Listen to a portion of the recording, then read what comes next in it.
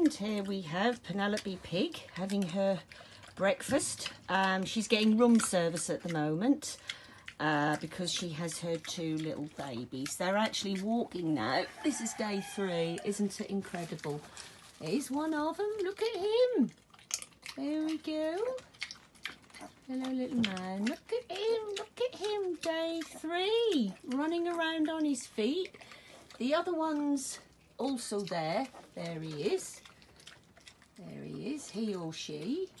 Look at them. Aren't they absolutely the cutest little things you ever saw? But within three days, they're running around on their little feet looking like proper little piggies. And I have to say, little Penelope Pig is being an absolutely, absolutely super mummy. Um, I've never had baby pigs before. Isadora, I believe, was six weeks when we got her, something like that. So I, I did realise that they do develop um, very, very quickly. But, I mean, look at these little guys or girls. Look. Aren't they just the cutest, cutest thing you ever saw? I have to say, it was one hell of a shock. Now we've got them, we absolutely love them. When we can determine if they're girls or boys or what they are, then we will have to find a couple of names for them. Here we come. He want his mummy. He want his mummy. Look at you. Look at you. My goodness. Do you know, isn't nature absolutely incredible. Oh, for those of you that have said who's the dad, we have no, no idea.